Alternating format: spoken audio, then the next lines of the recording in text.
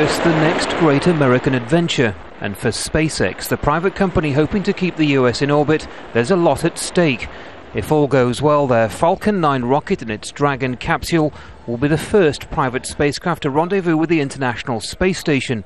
In commercial terms, it's an incredibly ambitious goal. We really stand in awe of uh, having the opportunity to, to, to attempt this.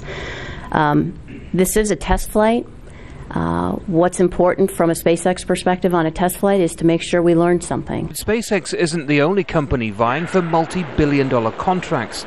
Providing cheap and effective ways of getting into low orbit and returning to Earth is a rapidly emerging market.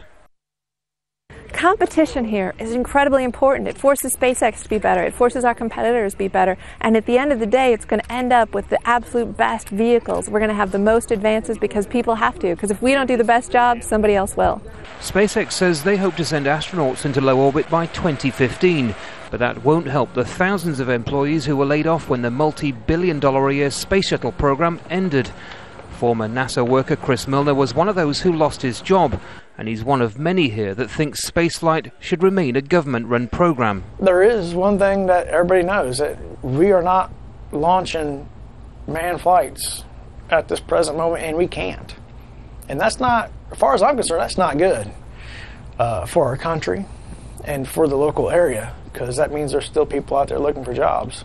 When the space shuttle program ended, many said that was it for America's dominance in space. And whilst that may be true, this Falcon 9 rocket represents the beginning of a new era. Some people are even calling this a private space race. This is a much smaller, much leaner, and of course, much cheaper operation. For commercial spaceflight, this could be a defining moment, and for the US, a viable way to stay in orbit. Andy Gallacher, Al Jazeera, Cape Canaveral, Florida.